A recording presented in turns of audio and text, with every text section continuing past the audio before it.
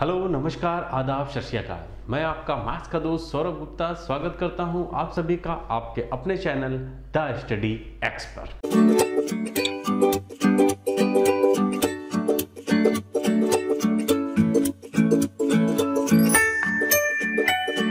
दोस्तों, जैसा कि आप सब जानते हैं, अभी हम कर रहे हैं एसएससी सीजीएल 2019 प्रीलिम्स में आए हुए क्वेश्चंस का डिस्कशन जिसके क्रम में हमने इससे पहले सीजीएल 2019 के फ़र्स्ट डे के फ़र्स्ट शिफ्ट, यानी 3 मार्च की पहली शिफ्ट के क्वेश्चन का डिस्कशन किया था।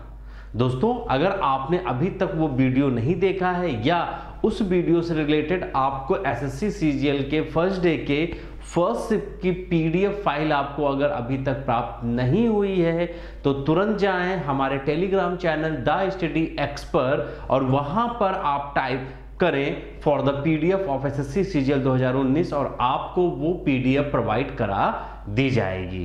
तो दोस्तों, आज हम शुरू करने वाले हैं एसएससी सीजीएल 2019 प्रीलिम्स के फ़र्स्ट डे के सेकंड शिफ्ट के क्वेश्चंस में, जिसमें हमारा सबसे पहला क्वेश्चन है समान धारिता की क्षमता की दो बोतलें संतरे के रस से क्रमशः 35 परसेंट और 33 सही एक बटे तीन प्रतिशत तक भरी हुई हैं। फिर क्या होता है, वे सेब के रस से पूरी भरी जाती हैं और फिर उन दोनों बर्तनों की सामग्री को एक दूसरे बर्तन में खाली कर दिया जाता है। तो अब आपको बताना है कि उस तीसरे पात्र में सेब के रस की मात्रा कितनी है प्रतिशत में। तो दोस्तों देखिए अगर इस, इस तरह के क्वेश्चन आपको पेपर में मिलते हैं तो मेरा मानना है कि आप अगर इसमें अपने ऑप्शन का प्रयोग करेंगे तो शायद आपको ज़्यादा आसानी और ज़्यादा एक्यूरेसी के साथ क्वेश्चन मिलेगा। तो दोस्तों शुरू करते हैं क्वेश्चन देखिए अभी क्या है सबसे पहले उन्होंने बोला है संतरा। संतरे का रस देखिए पहले वाले में उन्होंने बोला है 35 परसेंट और दूसरी बोतल में बोला है 33 सही एक बटे तीन प्रतिशत। दो बोले गए हैं। अच्छा बाकी अब जब सेब से इसे पूरा भरा गया तो जब दोस्तों इसे सेब से भरा गया तो पहले वाले बोतल में कितना परसेंट सेब आया होगा? पैंसठ परसेंट आया होगा।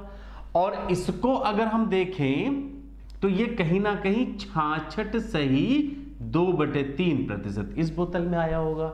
अब ज़ाहिर सी बात है, इन दोनों को मिला करके ही तो तीसरी बोतल में डाला गया होगा। हाँ या ना? और आपको मालूम है, एलिगेशन का नियम, जब दो क्वांटिटी को मिलाया जाता है तो तीसरी क्वांटिटी छोटे वाले से कम नहीं होगी और बड़े वाले से ज़्यादा नहीं होगी।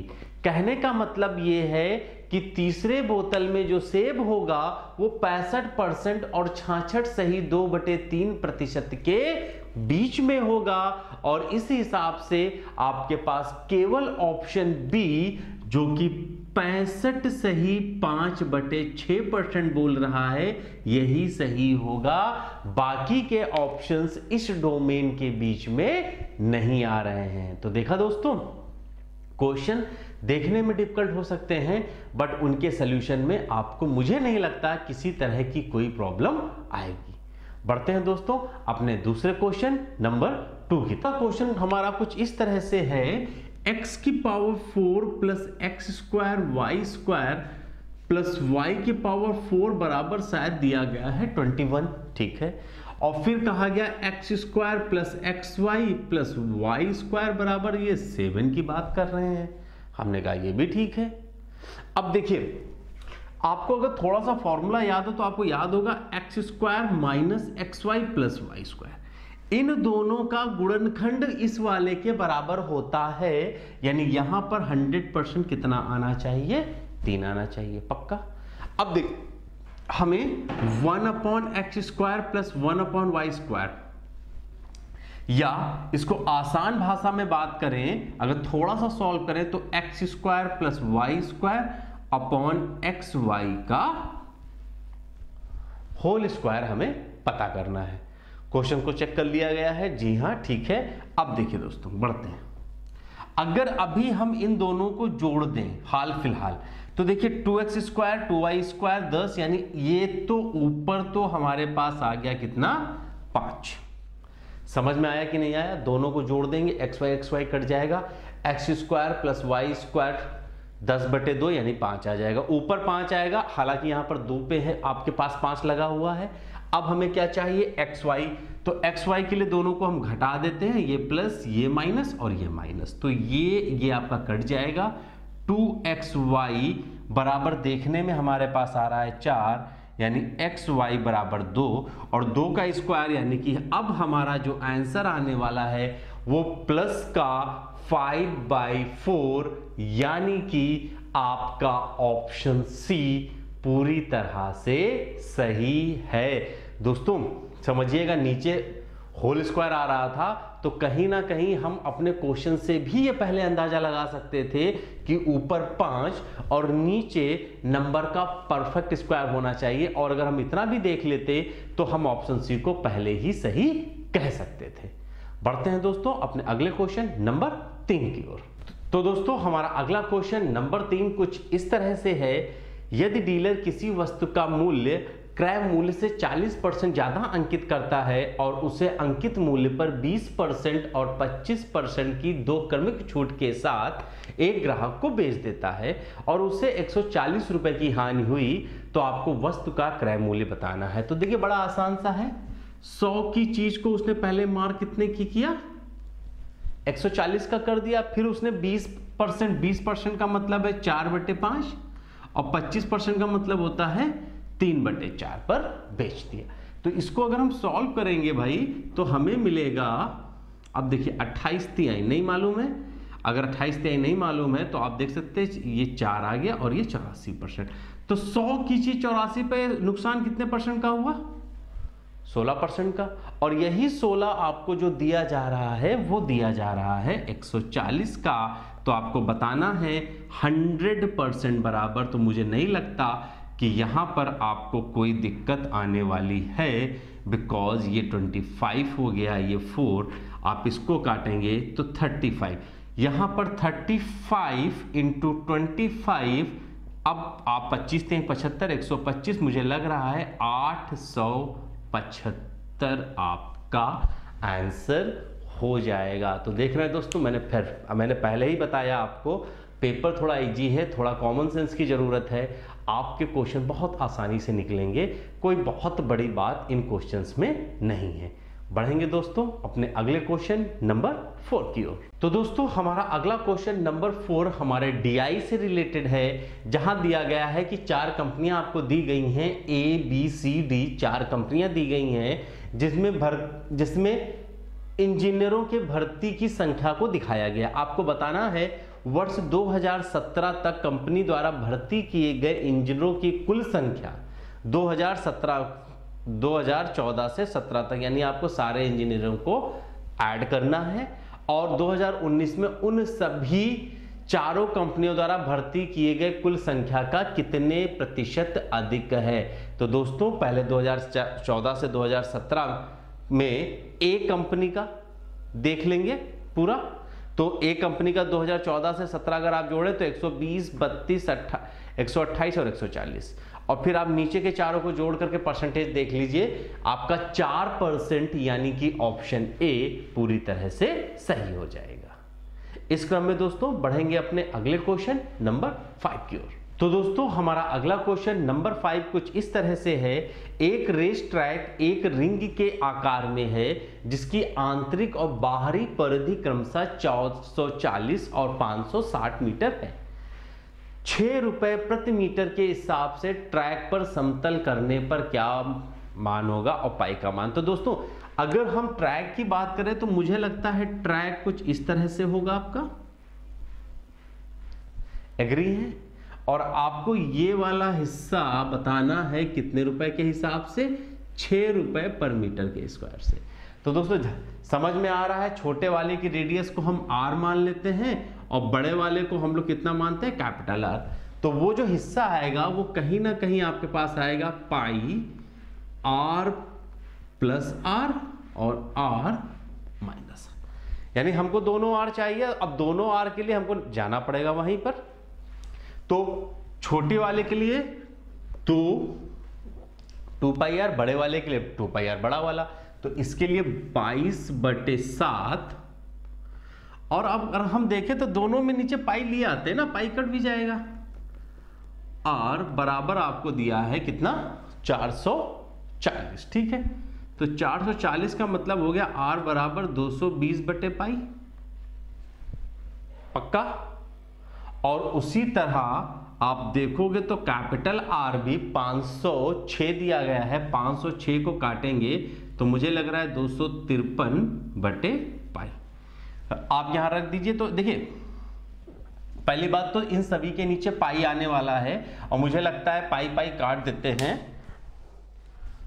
पाई पाई काट देते हैं तो देखिए यहाँ भी पाई आएगा, यहाँ भी नीचे पाई आएगा, एक पाई कट जाएगा। एक तो सात बट्टे बाईस लिख लेते हैं। इनटू भाई देखिए, ये इसके नीचे, आर के नीचे पाई आया था, इसके नीचे भी पाई पाई पाई कट गया। अब क्या है इन दोनों का? आप एक बार जोड़ ले लेंगे तो जोड़ेंगे तो मुझे लग रहा है चार सौ तिहत्तर इंटू घटाएँगे तो मुझे लग रहा आएगा तैतीस, पक्का? और हमारे पास एक ऑलरेडी था इंटू सिक्स तो दोस्तों एक चीज़ आप समझ लीजिए। अब यहाँ पर हमारे लिए समझने के लिए चीज़ आ चुकी है। देखिए, ग्यारह दुना बाईस, ग्यारह चौक चौवालीस, ग्यारह तीन तैतीस। ग्यारह तीन तैतीस। हमारा आंसर पहले अगर आप देखें तो ग्यारह गुड़े तीन। अच्छा दो इसको काट देगा। ये बता रहे हैं इसके लिए। आंसर 11 से डिविजिबल होना चाहिए। आप अपने चारों ऑप्शन को देखिए। उसमें ऑप्शन बी और ऑप्शन डी हैं जो 11 से कट रहे हैं, ठीक है? उसके साथ ही साथ एक तीन ये है, एक तीन ये है। दो तीन का मतलब हो गया कि हमारा आंसर 9 से भी डिवाइड होना चाहिए। और अगर हम यहाँ की बात करेंगे 9 से डिवीज़न में तो केवल आपका ऑप्शन डी है। यहाँ पर जो 9 से डिवाइड हो रहा था, इसलिए आपके क्वेश्चन नंबर फाइव का आंसर हो जाएगा टी ऑप्शन तो दोस्तों, क्या देखा हमने?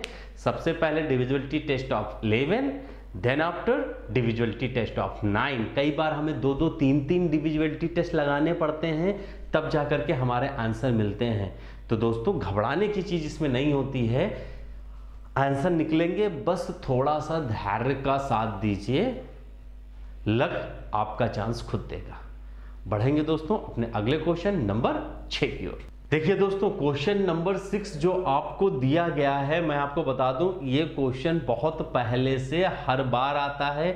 आपका सीजीएल मेंस में भी इस क्वेश्चन के आने की पूरी संभावना है। ये ना होकर के ये कॉन्सेप्ट है, हमारा एक फॉर्मूला होता है A cube plus B cube plus C cube ये फॉर्मूला आप हमेशा याद रखिएगा। A cube plus B cube plus C cube minus three A B C बराबर A plus B plus C और दूसरे ब्रैकेट में A square plus B square plus C minus A B minus B C minus C दोस्तों जिस फॉर्मूले पर algebra के portion से एक क्वेश्चन 100 परसेंट पेपर में आता ही आता है।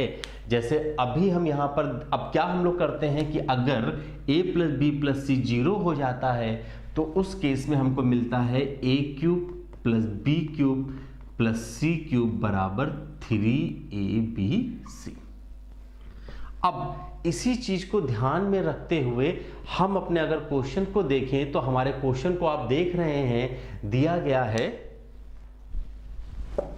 A plus B A plus B minus C का whole cube plus A minus B plus C का होल क्यूब माइनस एट को हम टू ए का होल क्यूब लिख सकते हैं। इसका मान चाहिए। तो दोस्तों, पहले हम देख लेते हैं A plus B plus C अब देखिए, हम लिखेंगे नहीं। ए प्लस बी सी में देखेंगे सी सी कट जाएगा बी बी कट जाएगा ए यानी हमारा A plus B plus C बराबर ज़ीरो आ रहा है। तो ये बराबर हो जाएगा किसके? थ्री ए बी और सी ये। यानी कि ये हमारा हो जाएगा सिक्स ए और इस चीज़ को जब हम अपने ऑप्शन में देखेंगे तो हमारा ऑप्शन ए सही हो जाएगा। यानी कॉन्सेप्ट हमने क्या लगाया है? A cube plus B cube plus C cube बराबर थ्री ए बी सी अच्छा दोस्तों, एक चीज़ और समझिएगा। ये माइनस का था तो माइनस जाएगा तो ये माइनस में आएगा तो इस माइनस को आप कहीं पर भी ले जा करके अभी जैसे हम यहीं पर कर दें तो ये हमारा जो सही ऑप्शन आएगा six A A plus B minus C बना रहने देते हैं, और ये हो जाएगा बी माइनस ए और माइनस सी यानी कि आपका ऑप्शन नंबर ए फिर भी सही हो जाएगा। बढ़ेंगे दोस्तों अपने अगले क्वेश्चन नंबर सेवन की ओर। तो दोस्तों, हमारा अगला क्वेश्चन नंबर सेवन कुछ इस तरह से है। किसी वृत्त के चारों ओर ए बी सी डी एक चतुर्भुज खींचा गया है और ए बी बराबर बी सी सी डी दिया है ए डी बताना ओके तो मतलब पहले चतुर्भुज बनाए बनाए लेते हैं। ये मतलब एक वृत्त के चारों खींचा गया है। ये ए बी सी डी तो यहाँ पर दोस्तों एक छोटी सी प्रॉपर्टी बताना चाहूँगा कि अगर किसी चतुर्भुज की चारों भुजाएँ वृत्त को स्पर्श करती हैं तो सम्मुख भुजाओं का योग यानी A B plus C D बराबर होगा B C plus A D ये। ये आप लोगों को पता है। अब यहाँ पर आप देखेंगे तो ए बी बराबर आठ दिया गया है। बीसी सात दिया गया है सी डी छह दिया गया है। अब देखो दोस्तों पेपर मत करो। ये आठ, छह, चौदह, ये चौदह है तो इन दोनों का जोड़ भी चौदह होना चाहिए। चौदह तब होगा जब आपके एक्स का मान कितना होगा? सात होगा। जी हाँ, यानी कि आपका ऑप्शन सी पूरी तरह से सही है। बढ़ेंगे दोस्तों अपने अगले क्वेश्चन नंबर एट की ओर। तो दोस्तों, हमारा अगला क्वेश्चन नंबर एट देखिए अगेन डीआई यानी डाटा इंटरप्रिटेशन से दिया गया है, जहाँ पर आपसे बताया गया है 2014 और 17 में कंपनी बी द्वारा भर्ती किए गए इंजीनियरों की कुल संख्या 2015 से 2019 तक सी द्वारा भर्ती किए गए इंजीनियरों की कुल संख्या के। तो दोस्तों, बड़ा आसान सा है यहाँ पर। 14 से 17 में बी वालों को जोड़ देंगे और 2019 15 से 19 तक सी वालों को जोड़ करके परसेंटेज निकालिए, आपका ऑप्शन फोर 39.2 एकदम सही हो जाएगा। तो दोस्तों डीआई के क्वेश्चन बहुत आसान थे, कोई कॉम्प्लिकेटेड नहीं थे, इसलिए मैं आपको अभी डीआई के क्वेश्चंस को डिस्कस नहीं करा रहा हूँ बट आपको आंसर बता रहा हूँ। आप क्वेश्चन करिए, अगर आपको इनमें प्रॉब्लम आती है तो आप हमारे Telegram channel the Study X पर मैसेज कर सकते हैं, आपको उसका सोल्यूशन प्रोवाइड करा दिया जाएगा। अब बढ़ेंगे दोस्तों अपने अगले क्वेश्चन नंबर नाइन की ओर। तो दोस्तों, हमारा अगला क्वेश्चन नंबर नाइन कुछ इस तरह से है। कॉसेक पचासी plus theta minus sec theta minus five या फाइव हाँ five minus theta plus ten fifty five plus theta minus sec 35 minus theta ये क्वेश्चन आपको दिया गया है। तो दोस्तों, यहाँ अगर सब में देखें तो मुझे लग रहा देखते ही आप भी समझ पा, जाओगे कि थीटा बराबर पाँच डिग्री रख दो। जैसे ही पाँच रखोगे, ये हो जाएगा कॉसेक 90 ये हो जाएगा सेक ज़ीरो ये हो जाएगा टेन सिक्सटी और ये हो जाएगा सेक ये सेक ना होकर के मुझे लग रहा कॉट था। जी हाँ ये यहाँ पर कॉट दिया गया है। ये कॉट कर दिया, कॉट थर्टी। तो दोस्तों, ये वन होता है, ये माइनस वन होता है, ये रूट तीन होता है, ये माइनस रूट तीन। सबको आराम से आप काटेंगे तो आपको पता चल जाएगा कि आपका आंसर ज़ीरो, यानी कि आपका ऑप्शन सी पूरी तरह से सही है। तो देखिए दोस्तों टेक्नोमेंट्री में सबसे पहले जब कभी भी आप क्वेश्चन को करिए, आपका जो सबसे पहला स्टेप होगा to find out the value of theta. जैसे ही आपको थीटा की वैल्यू मिल जाती है, आपका आंसर बहुत आसानी से निकलेगा। बढ़ेंगे दोस्तों अपने अगले क्वेश्चन नंबर टेन की ओर। तो दोस्तों, हमारा क्वेश्चन नंबर टेन कुछ इस तरह से है। Sec theta minus ten theta upon sec theta plus ten theta बराबर दिया गया है तीन बटे पाँच। जी हाँ, और आपको बताना है cosec theta plus cot theta upon cosec theta minus cot theta का मान। तो दोस्तों, एक चीज़ तो यहाँ से क्लियर हो रही है कि ये प्लस में है तो ऊपर वाला मान, खैर वहाँ से आपको कुछ भी नहीं मिलने वाला है। अब हम लोग देखते हैं अपने क्वेश्चन को। तो दोस्तों, अगर इस क्वेश्चन को हम सही से देखें तो ये क्या लिखा हुआ है? One minus sine theta upon one plus sine theta बराबर थ्री बाई फाइव। हा या ना? तो दोस्तों, यहाँ पर समझिएगा, ये थ्री कैसे आएगा?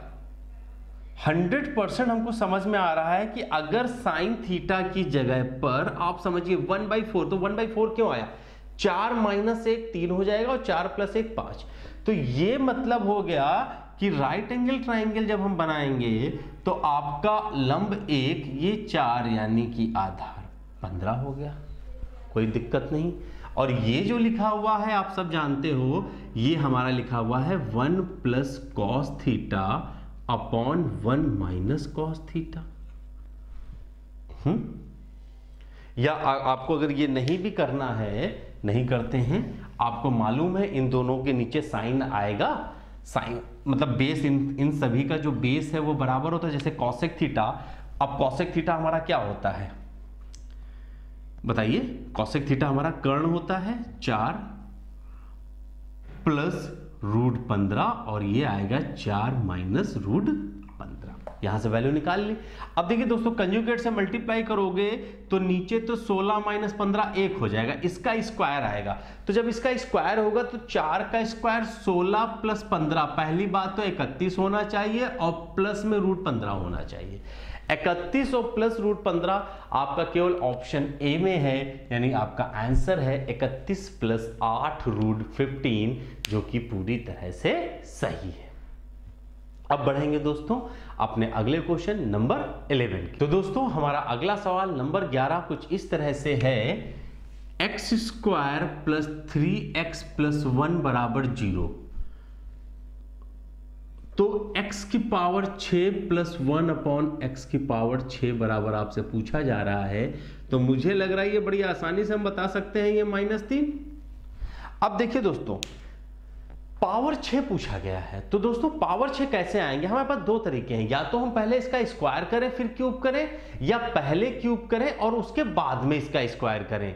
तो समझदारी आपकी इसी में रहेगी कि पहले आप इसका क्यूब निकाल लो तो जब क्यूब निकालते हैं तो हमारा क्या होता है? P cube? प्लस है? तो यहाँ पर क्या अगर प्लस है तो यहाँ माइनस माइनस माइनस प्लस हो जाएगा नाइन। यानी ये हमारा कितना आ जाएगा? माइनस का अट्ठारह। X cube plus one upon X cube बराबर माइनस का अट्ठारह। और जब इसका आप स्क्वायर करोगे तो यही तो आएगा क्यूब का स्क्वायर। ये हो, ये क्या होता है? माइनस का अट्ठारह का का स्क्वायर, और अगर यहाँ पर प्लस है तो यहाँ आप लिखते हो माइनस का टू तो जब आप करोगे तो 324 माइनस दो then your answer will be 322 322 और जब आप ऐसा बोलोगे तो आपको पता चलेगा कि आपका ऑप्शन सी पूरी तरह से सही है। क्या किया हमने? हमने सबसे पहले क्यूब निकाला क्यूब हमारा माइनस में आया, फिर उसी क्यूब का हमने यहाँ पर स्क्वायर कर। बढ़ेंगे दोस्तों, अपने अगले क्वेश्चन नंबर ट्वेल्व तो हमारा अगला सवाल नंबर बारह कुछ इस तरह से है। अनु, किसी वस्तु का विक्रय मूल्य उसके उत्पादन की लागत से 25 प्रतिशत अधिक निश्चित करती है। यदि उस उत्पादन की लागत 20 प्रतिशत बढ़ जाती है और उसका विक्रय मूल्य केवल 10 प्रतिशत बढ़ता है तो उसका लाभ प्रतिशत। बहुत आसान है। देखिए दोस्तों, अनु ने पहले 100 की चीज़ को 125 बनाया। ठीक है? लेकिन अब क्या हुआ? ये 100 बन गया 120 का बट अन्नू ने क्या किया? इस 125 में केवल 10 परसेंट बढ़ाया। तो 12.5 मतलब इसको कितना किया केवल इन्होंने? एक सौ एक सौ बीस की चीज़ सैंतीस दशमलव पाँच, फ़ायदा केवल सत्रह दशमलव पाँच का ले रहे हैं। कहाँ से ले रहे हैं? 120 से इंटू हंड्रेड एक ज़ीरो इसको काटेगा, एक ज़ीरो इसको काटने में चला जाएगा। 12 जब इसको काटेगा तो 12 एकम बारह, चौदह दशमलव छह परसेंट के आसपास का फ़ायदा उसको मिलने वाला है। जी हाँ, आपका ऑप्शन सी पूरी तरह से सही हो गया। भाई 100 की चीज़ 120 हो गई, लेकिन जो आप 125 का बेच रहे थे, आप एक का बेचने लगे। यानी इन दोनों का डिफरेंस 17.5 आपका प्रॉफिट था सीपी आपका 120 था प्रॉफिट परसेंट आपका 14.6 सही हो चुका है। बढ़ेंगे दोस्तों अपने अगले क्वेश्चन नंबर तेरह की। दोस्तों क्वेश्चन नंबर तेरह पर आने से पहले मैं आपसे एक बार फिर कहना चाहूँगा कि अगर आप पहली बार हमारे इस वीडियो को देख रहे हैं तो आपसे रिक्वेस्ट है कि हमारे चैनल द स्टडी एक्स को सब्सक्राइब ज़रूर करें। और डिस्क्रिप्शन बॉक्स में हमारे Telegram channel the Study X का लिंक दिया गया है। आप वहाँ जाकर के हमारे चैनल द स्टडी एक्स से जुड़ सकते हैं। जहाँ पर मिलते हैं आपको सबसे मोस्ट अपडेटेड स्टडी मटेरियल साथ ही साथ जितने भी वीडियोज़ आपको कराए जा रहे हैं, इनकी पीडीएफ भी हम अपने टेलीग्राम चैनल पर अवेलेबल कराते हैं। साथ ही साथ दोस्तों, अगर आपको हमारा ये वीडियो पसंद आ रहा हो तो इसे अपने दोस्तों के साथ शेयर ज़रूर करिएगा। बढ़ते हैं दोस्तों, क्वेश्चन नंबर तेरह की ओर, जहाँ यह कहा गया है कि पहली चार संख्याओं का औसत पांचवी संख्याओं का तीन गुना है।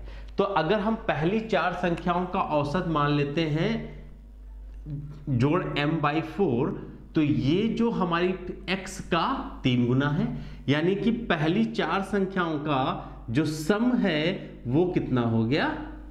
12x ठीक है?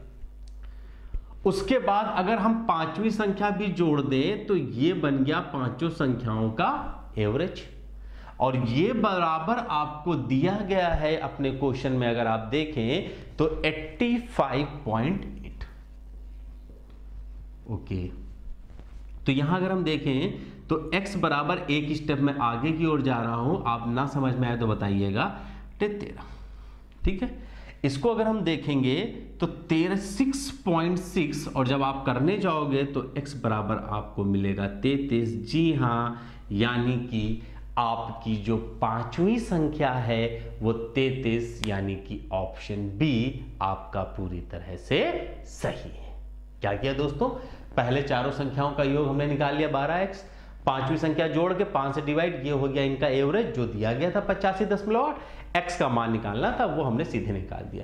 कई बार दोस्तों, आपका जो करने का बेसिक मेथड है, वो आपके नॉर्मल मेथड से ज़्यादा आसान होता है तो बेसिक पर कमांड ज़रूर रखिएगा। बढ़ेंगे दोस्तों, अपने अगले क्वेश्चन नंबर फोर्टीन तो दोस्तों, हमारा अगला सवाल नंबर 14 बहुत आसान है। कहा गया है कि यहाँ पर एक संबाहु त्रिभुज है एबीसी और इस संबाहु त्रिभुज एबीसी में ए से भुजा बी सी पर एक परपेंडिकुलर डाला गया है और आप सबको मालूम है कि ये जो ए डी होता है, ये हमारा होता है root three by two A और यही आपको दिया गया है कितना? चार रूट तीन। तो यानी कि इस संबाहु भुजा संबाहु त्रिभुज की प्रत्येक भुजा 8 सेंटीमीटर है और आपको पेरीमीटर माल बताना है तो 8 8 8 यानी 8 गुड़े तीन पेरीमीटर आपका है 24 सेंटीमीटर, यानी कि अगेन आपका ऑप्शन पी पूरी तरह से सही है। आसान सा सवाल था, इसलिए बहुत ज़्यादा इस पर ज़ोर नहीं दिया है। बढ़ेंगे अपने अगले क्वेश्चन नंबर 15 तो दोस्तों, हमारा अगला सवाल नंबर 15 भी डीआई से रिलेटेड है तो डीआई में आपको बताना है कंपनी ए और बी द्वारा 2015 और 2018 में भर्ती किए गए इंजीनियरों की कुल संख्या का कंपनियों सी और डी द्वारा 2014 और 18 में भर्ती किए गए इंजीनियरों की कुल संख्या से अनुपात जोड़ करके केवल डिवाइड करना है और यहाँ पर आपका जो आंसर रहेगा, वो आंसर होगा यहाँ पर डी सत्रह अनुपात चौदह करके देख लीजिएगा। नहीं तो सोल्यूशन हमने आपको बताया है टेलीग्राम चैनल पर प्रोवाइड करा दिएँगे इसका। क्योंकि यहाँ पर कैलकुलेशन है, कोई कॉन्सेप्ट नहीं है, इसको हम नहीं करा रहे हैं। हम बढ़ेंगे अपने अगले क्वेश्चन नंबर 16 की ओर। 16 में कहा गया है कि जब 200 को एक धन पूर्णांक जब 200 को एक धन पूर्णांक x से डिवाइड किया जाता है तो आपके पास रिमाइंडर जी हाँ, यानी कि शेष आठ बचता है। तो आपको यह बताना है कि कितने मान x के यहाँ पर पॉसिबल है। तो दोस्तों, इस सवाल को थोड़ा सा छोटा करके पहले मैं आपको बताऊँ कि अगर आपसे कहा जाए कि 50 को x डिवाइड करे और शेषफल कितना आए दो। तो सिंपल सी चीज़ है कि आप क्या करोगे, आप 48 को डिवाइड करने वाले नंबर को ढूंढ लो। क्यों? क्योंकि 48 तक जैसे मान लीजिए खुद 48 है 50 को डिवाइड करेगा, दो आएगा। उससे पहले 48 को कौन डिवाइड करता है? 24 अब 24 क्या होगा? 48 तक डिवाइड कर देगा। अब 50 को 24 से डिवाइड करो, दो आ जाएगा कि नहीं आ जाएगा?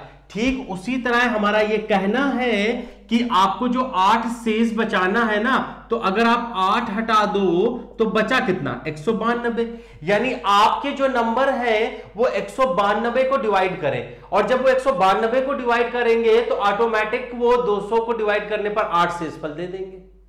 जरा हम देख लेते हैं, बानबे को डिवाइड करने वाले कितने नंबर हैं? तो अगर हम देखें तो चौसठ तीन गया तो ये दो की पावर अगर मुझे समझ में आ रहा है सही तो ये छ है। हाँ इंटू तीन की power one number of factor अगर आपको नहीं आते हैं तो मेरी वीडियो में आप number of factor sum of factor product of factors के सारे वीडियो आप चैनल के डिस्क्रिप्शन बॉक्स में या चैनल में सबसे पहले वीडियो जाएँगे सर्च करेंगे, आपको नंबर ऑफ़ फैक्टर मिल जाएँगे।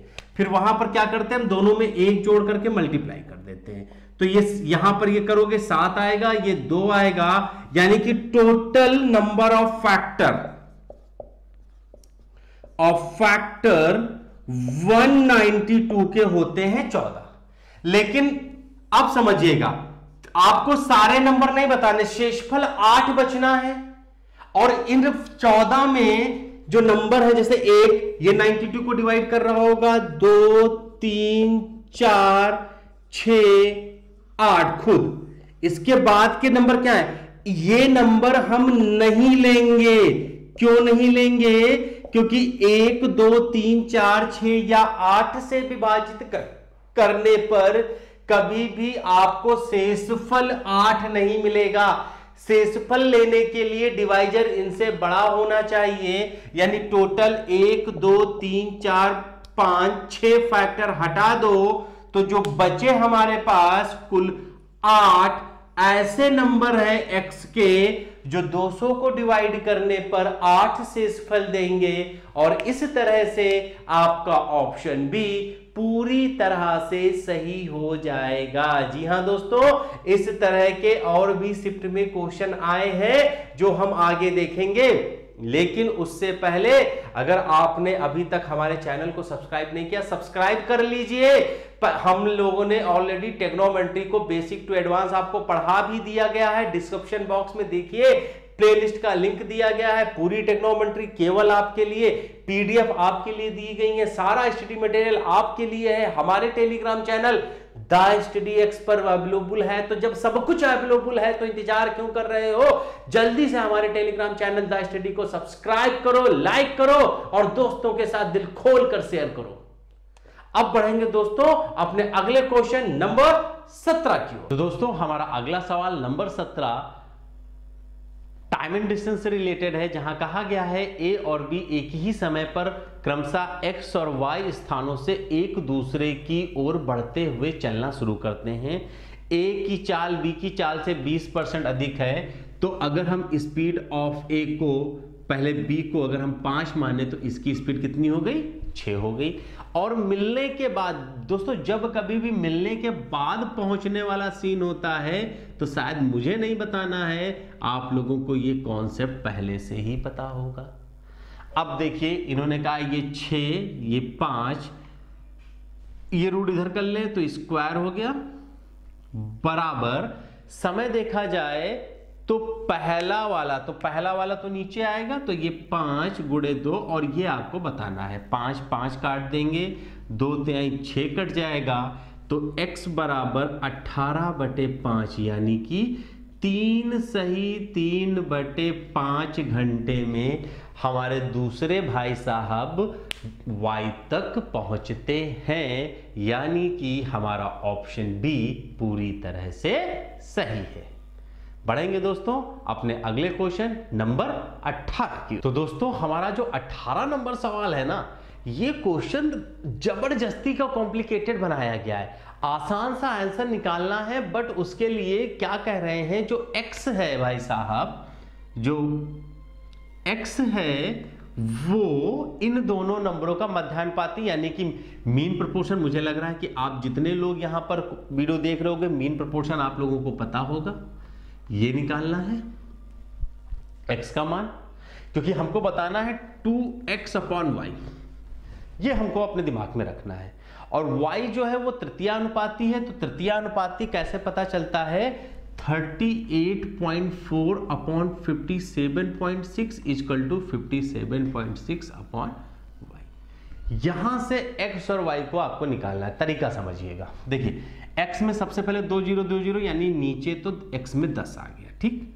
ये हमारा लिखा है चौसठ गुड़े दो, और अगर इसकी बात करें तो ये लिखा है आठ गुड़े इक्यासी। तो चौसठ से आठ, सोलह से चार, और यहाँ नौ। ये x का मान। आ गया, कुछ नहीं करेंगे, छोड़ देते y के पास जब हम आएँगे तो यहाँ से ये कट जाएगा, और अगर हम देखें तो ये चार से कट रहा है, चार चौक चौक। नौ और छ आठ और ये आया बारह। तो ये दो भी आ जाएगा, ये तीन आ जाएगा। तो अगर हम y बराबर निकालेंगे तो मुझे लग रहा है आ गुड़े तीन। क्योंकि ये दो, चार, आठ, देखिए कैलकुलेशन बड़ा ध्यान से करना। अब यहाँ पर इसको रख देते हैं। दो गुड़े आठ गुड़े चार गुड़े नौ और तो नीचे कितना रहेगा? ये ला दस। अब y का मान देखें तो अट्ठाईस दशमलव आठ गुड़े तीन। तो तीन त्याई तो नौ, दस इसको यहीं खत्म कर लेते हैं। आठ तिरिक चौबीस, आठ छंग अड़तालीस, चार नवाई छत्तीस, तीन तिहाई नौ। तो एक देखिए, दो बचा है, एक तीन। यानी आंसर हमारे पास आ रहा है दो अनुपात तीन, यानी कि आपका ऑप्शन ए पूरी तरह से सही है। जी हाँ दोस्तों, थोड़ा सा प्रॉब्लम था। अगर आप पेपर में हल्का सा भी एक्स और वाई के मान में प्रॉब्लम कर गए तो यकीन मानिए, समस्या ज़्यादा होगी। अब देखिए ना मैथमेटिकल कैलकुलेशन जहाँ पर ज़रूरी हो, केवल वहीं करिए। अदरवाइज़ कैलकुलेशन करने का सबसे सही स्टेप होता है जब हम अपने फाइनल आंसर को निकाल रहे हो। बढ़ेंगे दोस्तों अपने अगले क्वेश्चन नंबर 19 की ओर। हाँ दोस्तों क्वेश्चन नंबर 19 जैसा कि आप देख पा रहे हो, ये टोटल आपका जो क्वेश्चन दिया गया है, ये बॉड मास पर है। ठीक है दोस्तों? तो इसको करने की मुझे नहीं लगता ज़रूरत है। आप सब लोग इतने एफिशिएंट हो कि सबसे पहले आप ब्रैकेट को सॉल्व करोगे, फिर उसके बाद ऑफ़ को फिर उसके बाद डिवीज़न मल्टीप्लीकेशन एडिशन और सब्ट्रैक्शन को फॉलो करते हुए आप अपने इस क्वेश्चन का आंसर निकालोगे। फ़िलहाल मैं इसका आंसर आपको बता देता हूँ। ये जो आंसर दिया गया है 16 एना 7 बाई एट आपका आंसर है। कैलकुलेशन करिएगा। अगर आपकी कैलकुलेशन में प्रॉब्लम आती है तो हम आपको अपने टेलीग्राम चैनल पर इसका पूरा सोल्यूशन आपको भेज देंगे। क्योंकि कैलकुलेशन है तो मुझे नहीं लगता है कि हम अपने वीडियो को ज़्यादा और बढ़ाएँ। इसमें कोई कॉन्सेप्ट अलग से अप्लाई नहीं हो रहा है। तो अब हम बढ़ेंगे अपने अगले क्वेश्चन नंबर 20 तो दोस्तों, हमारा अगला सवाल नंबर 20 कुछ उस तरह से है कि एक तो ट्राइंगल है एबीसी ए बी सी जिसमें ए बी और ए सी बराबर हैं, और यहाँ पर एक परपेंडिकुलर डाला गया है बी सी पर एल डाला गया है। ठीक है? फिर उन्होंने बताया है, एक दूसरा ट्राइंगल है डी ई एफ़ जिस पर एक डाला गया है एम और यहाँ पर ये दोनों बराबर है। ठीक है? अब इन्होंने बताया है कि इन दोनों का जो एरिया का रेशियो है, वो 9 और 25 है। तो दोस्तों, अगर देखिए, आपको पता है कि इन दोनों के अगर एरिया का रेशियो 9 और 25 है तो भुजाओं में रेशियो 3 और 5 आ जाएगा। और आपको बताना क्या है? एक बार ऊपर इन दोनों का जोड़ बताना है, यानी 8 और एक बार घटाना, यानी आंसर आपके पास दिया गया है चार। यानी कि ऑप्शन ए सही हो जाएगा। सिमिलैरिटी का कॉन्सेप्ट लगा दिया गया है। बाकी इस क्वेश्चन में कुछ नहीं करना है। बढ़ेंगे दोस्तों अपने अगले क्वेश्चन नंबर ट्वेंटी तो दोस्तों, हमारा अगला सवाल नंबर ट्वेंटी वन कुछ इस तरह से है। A can complete a certain place piece of work in forty days B is twenty percent more efficient than A and C is twenty eight percent more efficient than B they started work together they work together for five days then the remaining work will be completed by B in how many days? तो दोस्तों, समझिएगा। ए ने काम को 40 दिन में कर दिया, ठीक है? उसके बाद हम देख लेते हैं ए बी और सी की एफिशिएंटी तो इनकी अगर 100 है तो इनकी 125 है। हम नहीं बोल रहे, सवाल ही बोल रहा है।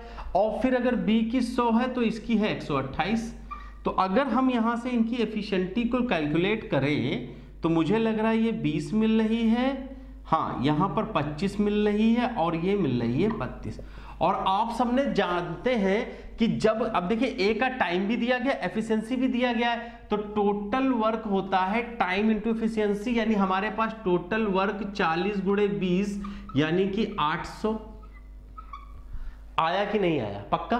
फिर उसके बाद तीनों ने मिल करके तो तीनों को अगर हम देखें मिल करके तो तीनों को अगर हम मिल करके देखें तो 77 काम एक दिन में पाँच दिन तक किया इन लोगों ने।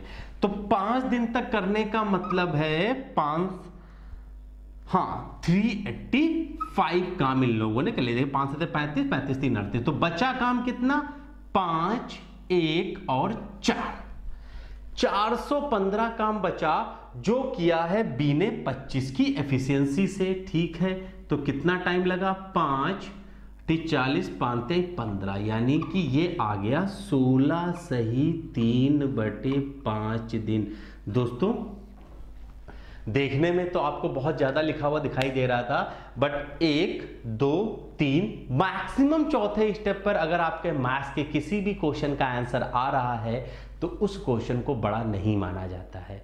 यानी कि हमारा आंसर डी 16 सही तीन बटे पाँच इसका सबसे सही उत्तर है। और इसी के साथ हम लोग बढ़ेंगे अपने अगले क्वेश्चन, नंबर 22 तो दोस्तों, हमारा अगला सवाल, नंबर 22 भी डीआई से लिया गया है। अब दोस्तों, क्योंकि डीआई के क्वेश्चन हम नहीं कर रहे हैं, ये भी आपका बहुत आसान सा है।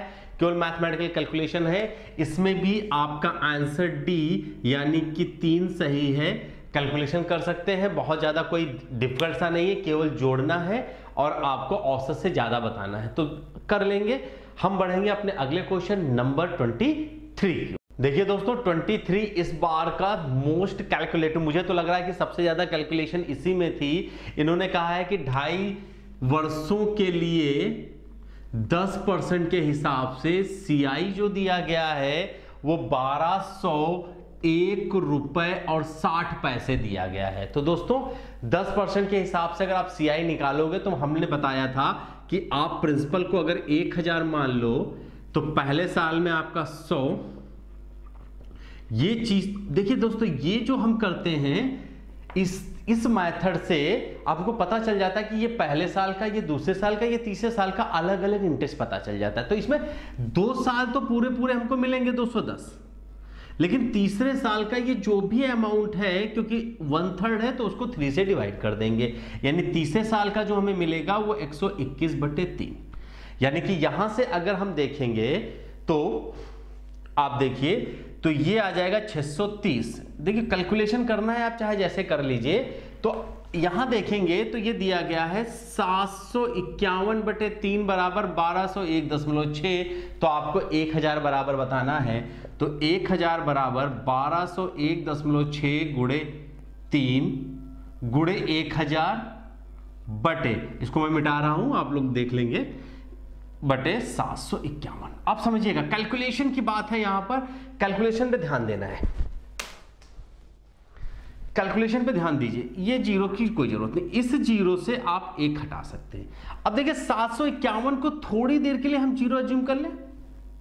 और जब आप 750 को 1200 से करोगे तो देखिए 750 का आधा होता है 375 देखिएगा, मैं जो कॉन्सेप्ट बता रहा हूँ, बस इसको देखिए 1125 और ये 1200 तो ये एक, ये मतलब इसका 1.5 ना होकर के लगभग लगभग ये हो जाएगा इसका 16 16 गुना हो जाएगा 750 के 16 गुना के आसपास, और 16 तिया होता है 48 यानी कि ये 4800 या उसके आसपास का आंसर आएगा। बहुत मोटी बात बता रहा हूँ, ध्यान से समझिएगा।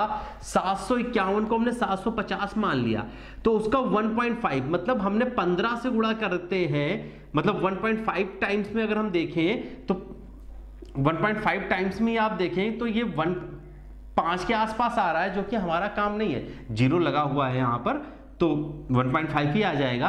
तो नहीं आ रहा है, फिर हमने क्या किया? 1.6 के आसपास मतलब 16 तिया 48 के आसपास का काम बनना है, और 48 केवल एक ही ऑप्शन में था, वो भी था आपका ऑप्शन डी, यानी कि इसका डी ऑप्शन आपका पूरी तरह से सही है। बढ़ेंगे अपने अगले क्वेश्चन नंबर 20 तो दोस्तों, हमारा अगला सवाल क्वेश्चन नंबर 24 कुछ इस तरह से है two sine theta plus fifteen cos square theta बराबर सेवन। तो हमको बताना है ten cos, ten theta plus cos theta plus sec theta.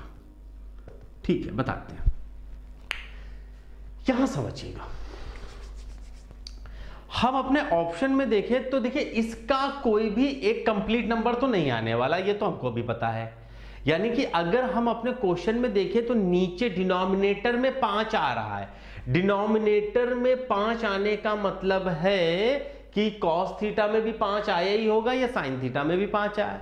यानी इसके नीचे पाँच से हमको पता चल गया कि एक राइट एंगल ट्राइंगल है, जहाँ पर उसका मतलब दो गुड़े ये होता है लंब बटे कर्ण पाँच प्लस पंद्रह गुड़े आधार का स्क्वायर बटे पच्चीस। बराबर सात लाना है। तो देखिए पाँच तई पंद्रह, पचम पच्चीस। तो कैसे आएगा? तो या तो तीन, देखिए, अगर हम यहाँ तीन रख दें, यहाँ चार तो सोलह, तीन, अड़तालीस ज़्यादा हो रहा है। कटेगा भी नहीं। हाँ अगर हम यहाँ पर तीन, यानी नौ रख दें और यहाँ पर रख दें चार तो आठ और सत्ताईस, पैंतीस। भाई, आना अल्टीमेटली पैंतीस बटे पाँच है, तभी सात आएगा। तो चार दुनी आठ और नौ सत्ताईस आठ पैंतीस, इसका मतलब ये चार है और ये तीन है। और जैसे ही आप ये बता दोगे तो टेन थीटा आपका होता है लंब बटे आधार प्लस कॉस थीटा आधार बटे कर्ण प्लस सेक थीटा कॉस का जस्ट उल्टा। तो नीचे आया पंद्रह। पंद्रह आया, ये आया बीस, नौ, और ये पच्चीस अब आप इसको सॉल्व करोगे तो ये आ जाएगा चौवन बटे पंद्रह। थोड़ा सा सॉल्व करते हैं इसको तो अट्ठारह बटे पाँच का मतलब होता है तीन सही तीन बटे पाँच। यानी कि आपका ऑप्शन बी पूरी तरह से सही है। दोस्तों, थोड़ा प्रेजेंस ऑफ़ माइंड टेक्नोमेट्री में अप्लाई करिए, जहाँ पर थीटा नहीं है थीटा का मान नहीं रखेंगे। देखिए थीटा का मान होता तो आपको पहले ही दिख गया होता कि हाँ यहाँ पर हम थीटा रख दे, आ जाएगा। नहीं आएगा तो ज़ाहिर सी बात है राइट एंगल ट्राइंगल बना करके भी हम अपने क्वेश्चन को सॉल्व कर सकते हैं। और इसी के साथ दोस्तों, बारी आ गई है हमारे आज के अपने आखिरी सवाल। यानी कि क्वेश्चन नंबर ट्वेंटी फाइव की। तो दोस्तों, हमारा अगला सवाल नंबर ट्वेंटी फाइव कुछ इस तरह से है।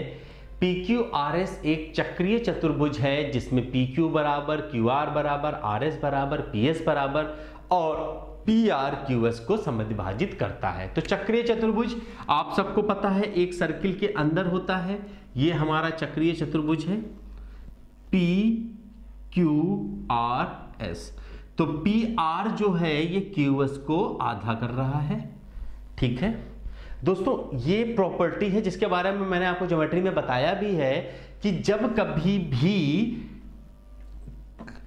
चक्रीय चतुर्भुज का एक डायगोनल दूसरे डायगोनल को अगर बाइसेक करता है तो उसके, उसमें जैसे ये किया, ये डायगोनल करा था तो पी एस आर और पी क्यू आर दो ट्राइंगल बन जाते हैं तो इनकी करस्पॉन्डिंग साइड का मल्टीप्लीकेशन बराबर हो जाता है। मतलब क्या कहने का है हमारा? P S into S R बराबर हो जाता है P Q into Q R के। मैं आपको ज्योमेट्री पढ़ाते समय इसका प्रूविंग भी बताऊँगा। फ़िलहाल ये आप वैसा ही समझ लीजिए जैसे this into this equal to this into this chord के केसेस में होता है। तो यहाँ पर अगर हम देखें तो पी क्यू तो हमारा एक्स दिया गया है। क्यू आर हमारा 16.8 है, ये हमारा 14 है, और अगर हम पी एस की बात करें तो पच्चीस दशमलव दो है तो कर लेते हैं। पच्चीस दशमलव दो गुड़े चौदह बराबर एक्स गुड़े सोलह दशमलव आठ।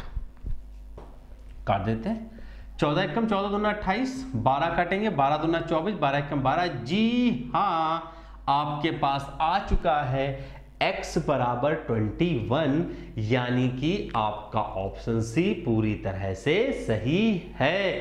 तो दोस्तों, ये थे हमारे एसएससी सीजीएल 2019 प्रीलिम्स के पहले दिन के सेकेंड शिफ्ट के 25 क्वेश्चन जल्द ही हम मिलेंगे आपको एसएससी सीजीएल 2019 प्रीलिम्स के थर्ड शिफ्ट के क्वेश्चन के डिस्कशन के साथ। तो दोस्तों, अगर आपको हमारे द्वारा बताए जा रहे ये वीडियो और इनके क्वेश्चंस समझ में आ रहे हैं, आपको हमारा तरीका अच्छा लग रहा है तो हमारे चैनल द स्टडी एक्स को सब्सक्राइब करना ना भूलें। साथ ही साथ दोस्तों, अगर आपको आपकी अपनी पढ़ाई को लेकर कोई भी कंफ्यूजन है, किसी भी तरह का स्टडी मटेरियल आप तक नहीं पहुँच पा रहा है, अगर आपको हमारे ये प्रीवियस ईयर पेपर के पीडीएफ आपको नहीं मिले हैं तो ये हमारा व्हाट्सएप नंबर है seven zero five two six nine double two double two आप इस पर कांटेक्ट कर सकते हैं, जहाँ पर आपको हर तरह का स्टडी मटेरियल प्रोवाइड कराया जाएगा।